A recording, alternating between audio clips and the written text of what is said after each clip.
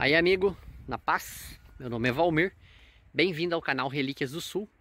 E hoje eu estou visitando um cemitério muito antigo que tem aqui em Igrejinha, Rio Grande do Sul, mais precisamente em Lajeadinho, fica bem pertinho da 020 e eu vou mostrar uns túmulos, aquele ali, esse daqui, ali tem uma jovem ali de 26 anos, tem uma foto bem legal. E tem várias fotos aqui nesse cemitério, olha ali. E aí, bichinho? O que tu tá visitando aí?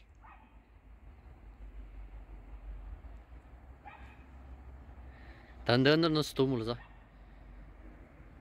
Será que o dono morreu e aí? Será que é hábito dele andar por aí caçando uns ratos?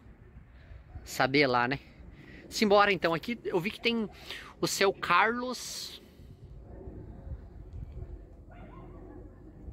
Ugentobler. Eu acho que é assim que lê, se não for, deixa aí no comentário, beleza? Aqui tem uma data assim que ele nasceu no dia 6 do 12 de 1879 e faleceu no dia 25 de 2 de 1950. Tem uma vovozinha aqui junto, que provavelmente seja o casal, só que ela já não tem identificação nenhuma. Mas tem as fotos deles aí, ó. Bem antigo, né? Mas tem uns aqui para baixo que eu vi que é bem mais antigo do que esse. Começando por esse aqui, ó. Vamos dar uma olhada. Eu vi que nesse cemitério aqui tem uns detalhes bem incríveis aqui. Olha isso aqui, ó. Carlos. Aqui também tem, ó, Carlos o Gentobler. Mas não sei se é assim que fala. Enfim, deixa aí no comentário. Ele morreu com 73 anos Olha a foto dele aqui, uma foto que foi tirada antes de 1923 também, quer dizer que é uma foto mais do que centenária. Aqui também, olha isso. Muito perfeito, né? Uma foto para ser tirada nessa época. Incrível. Pô, esse cemitério aqui tem várias dessas que tem a gradezinha na volta aqui, ó. E tem uns túmulos muito antigos. Simbora dar uma olhada.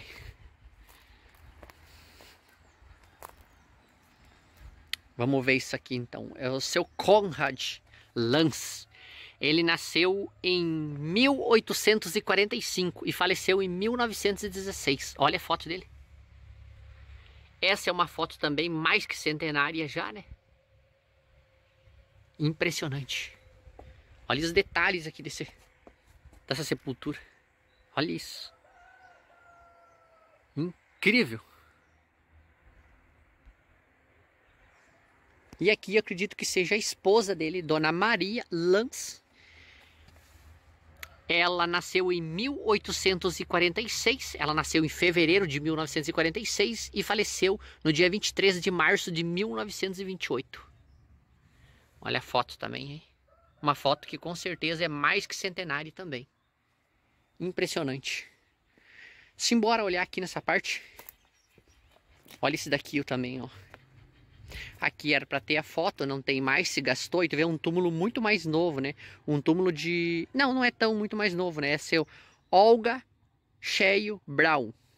Nasceu em 1889 e faleceu em 1918. Porém, não dá para ver mais nada. Ali a foto já se gastou, né? Eu vou pegar essa fileira aqui, ó. Essa. E a gente vai passando aqui e vai olhando os detalhes sobre esses túmulos aqui. Então vamos pegar essa careira aqui. Aqui tem uma, uma senhora, né? Que é o casal. Aí, bigodão, velho. Hey, Vamos ver se dá pra enxergar alguma coisa aqui.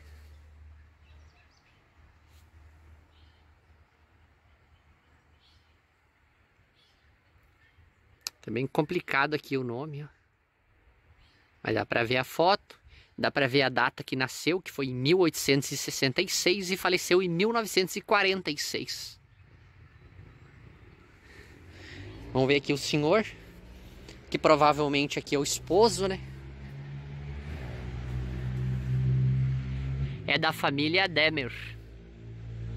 Nasceu em 1860 e faleceu em 1946. Aí o bigodão do guri. Rê, gaúcho, velho. Show. Olha os detalhes aí, né? Sepultura. Aqui, ó. A foto foi colocada bem na parte de cima aqui já também. Uma foto muito antiga. Provavelmente essa foto foi tirada daqui. E vamos ver quem é. Felipe. Ele nasceu em 1856 e faleceu em 1914. Sobrenome meio difícil. Aqui provavelmente já talvez seja a esposa, Dona Elizabeth é, Downer S. Ela nasceu no dia 20 de 1 de 1869 e faleceu no dia 14 de 2 de 1951. Tá aí a foto dela. 1951 foi a data de falecimento. Impressionante. Olha esses túmulos aqui, ó. Olha isso. Esse cemitério aqui é muito antigo. Os detalhes dele aqui é impressionante. Olha esse daqui, ó. Esse aqui é um túmulo bem antigo, que eu acredito que seja do casal pela largura aqui também. Só tem a foto do senhor ali, né? E olha só os detalhes dessa sepultura. Incrível, né? E tem tudo os significados, esses vasos têm significado, essas flores na lateral, né? É gótico, né? Então tem vários significados que vêm às vezes lá de Roma, vem de lá da Europa, vários significados de religião, umas coisas assim, ó. Dá pra ver isso aqui também. Imagine se fosse restaurar isso aqui, que impressionante seria, né? Pelos detalhes que foi feito esculpido na pedra, essas rosas. Incrível, né? Tá aí a foto dele, penteadinho gravatinha borboleta, mas não tem nome, não dá para saber quem é. Impressionante, né? Ah, vamos subir aqui, ó, para pegar esses dois aqui. Tem esse e esse daqui. Esse aqui é da dona Martalena Ebert, que veio da família Lump. Ela nasceu em 1853 e faleceu em 1922. E aqui então é do seu João Ebert, que nasceu em 1856 e faleceu em 1923. Esse túmulo aqui, ó, também ó, que tem essas espadas aqui dentro, ele não tem identificação, não tem foto, não tem como tu identificar nada. Mas ele tem algo impressionante que chama atenção nossa sempre que é a estátua, né, que tem um significado para eles. E tem esse pássaro aqui que ele tinha cabeça, mas acabou caindo. E aqui tava a foto então que hoje já não tem mais. E que eu comentei para você antes sobre a moça, essa jovem aqui, ela ela faleceu com 26 anos. Impressionante a foto dela, olha. E, e ela faleceu em 1913 e faleceu e nasceu e nasceu em 1887. E é Emily, eu acho que é Ebert também. O sobrenome. Bem jovem ainda, né? Impressionante os detalhes que eles botaram aqui na volta, ó. Aqui tem uma cruz Pode ser o esposo, né? Não dá para saber certo, mas não tem identificação nenhuma. Desse lado aqui, ó, tem esse daqui que é bem antigo também, ó. Henrich Schilling. Nasceu em 1850 e faleceu em 1913. Mas não tem foto, não tem nada. Ali já tá bem difícil a identificação, né? Não tem como identificar fácil, né? Até porque está gasto com o tempo. Esse daqui também é muito antigo, mas está bem gasto. Esse aqui já é antigo também, só que esse aqui está um pouquinho mais legível.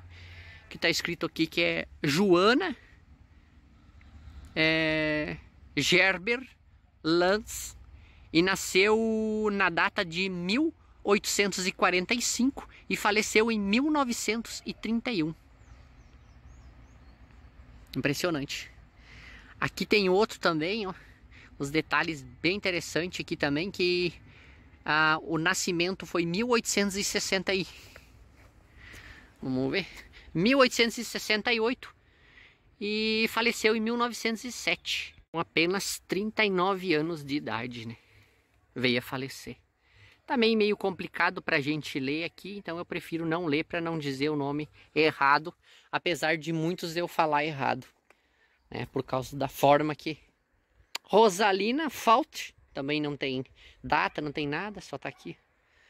Aqui dá para ver que tem um túmulo bem antigo, não tem identificação. Aqui tem dois túmulos, só que é muito antigo, não identifica mais nada, né? Já está ilegível. Esse aqui é solitário aqui no meio, né? Desse túmulo aqui. E aqui a pessoa nasceu em 1889 e faleceu em 1908. Já está bem complicado também de dizer o nome, prefiro nem dizer. Simbora pegar essas partezinhas aqui, ó. Do cemitério. Esse cemitério que é muito antigo. E que a gente olha isso aqui com a gradezinha na volta. Aquele ali é de duas pessoas já não tem identificação mais. Esse aqui está muito pouco legível, com certeza muito antigo. Mas não tem como me identificar mais. Esse aqui já tem os vasos aqui no lado. Esse aqui é Leopoldo.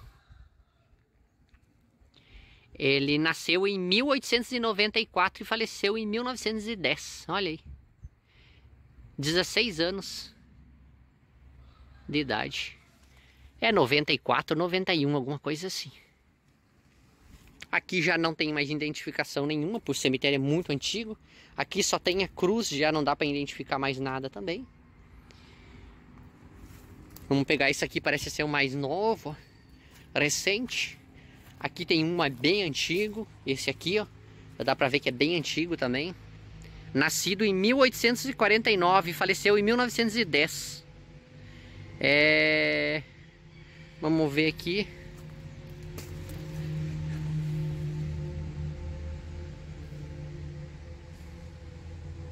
Nome. Será que era Catarina? Não dá para saber bem certo. Tá bem, antigo. Aquele ali é antigo, não tem identificação mais, é complicado, né? Lá tem dois mais antigos, já dá pra gente ver alguma coisa. Aqui tem vários no meio dessas, dessas samambaias aqui também, mas não tem como identificar mais nada. Aqui tem dois de criança, provavelmente, só colocaram as cruzinhas aqui. Até sempre quando for caminhar dentro do cemitério, cuida para tu não pisar assim, ó na frente, porque pode sucumbir para baixo. Pisa sempre no centro, que aí não vai ter perigo de nada. Né? Que ele pode. Aqui é de uma criança, vamos ver. É Walter Vin... Vingert. É. Ah, é duas pessoas. Ou é uma? Não, é só uma. Carlos Winter. É Walter e Carlos. Será que era gêmeo? Foram num túmulo só? Pode ser, ó. Walter Wingert Von P. Carlos Winter. É duas pessoas, eu acho. Nasceram em 1916 e faleceram em 1917. Provavelmente gêmeo. Aqui é três pessoas, ó. provavelmente tudo da mesma família.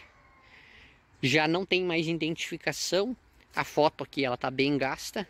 Aqui a foto tá mais ou menos. E ali já tá bem gasta também, então não tem como identificar mais nada. E assim é o cemitério tudo aqui. Tem uns túmulos bem antigos, que nem esse aqui que eu mostrei para você antes, aquele ali também. Túmulos bem antigos mesmo. É bem impressionante tu olhar esses cemitérios antigos, porque foi os primórdios. Né? A gente fala de pessoas que chegaram primeiro né, da Europa no Rio Grande do Sul. Digamos assim que é os, os pais né, de todos, os primórdios, né? Que começaram aqui a desbravar o Rio Grande do Sul. Essas pessoas aqui que nasceram em 1800 e 1840, 1850, tudo desbravadores, porque imagina como é que era isso aqui quando eles chegaram aqui no meio da, da mata. Então tem uns túmulos ainda que são preservados, né, que dá para entender bem quem é morava antigamente. Porém, tem uns que já não dá para identificar mais nada, que é uma pena, né? E aqui então tá o cemitério, ele não é muito grande. A parte de baixo ali são mais novos e aqui então provavelmente quando começou o cemitério, então era aqui. Tem muita coisa aqui que daria para fazer um vídeo aqui de 700 horas para olhar. Mas eu mostrei para vocês assim, os que são mais é, os túmulos diferentes, essas coisas. Espero que você tenha gostado do vídeo. Fica com Deus e até o próximo.